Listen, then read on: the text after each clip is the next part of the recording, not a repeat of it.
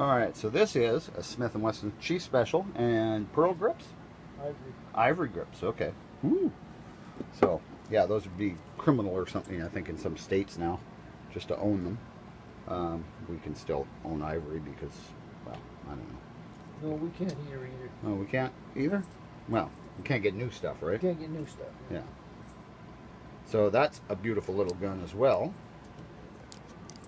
That Uh, is a checkered history, believe me. is that hammer know. bobbed? Eh? Is it hammer bobbed on that thing? The hammer's been bobbed.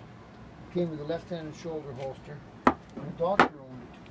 Oh, That's really? about as far as I know about that gun. A doctor. A doctor, local doctor. That's kind of cool. And he had a shoulder holster for it. Yeah. That's even cooler. so people did carry guns in Canada at one time. We're never sure with this guy. That is a very nice piece. So It is. It is an extremely nice piece. fumbly, fumbly. Let me get that thing open for. Thank you. Yeah, unfortunately, my hand is not working right. So Your hand is sticky too.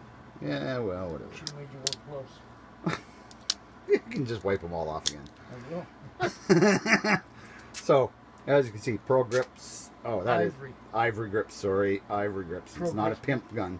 Yeah, it's a doctor's gun. That's a beautiful piece. Now, is that slated to be destroyed? Absolutely short, too short a barrel. Okay. So next one we're gonna look at. Hang on.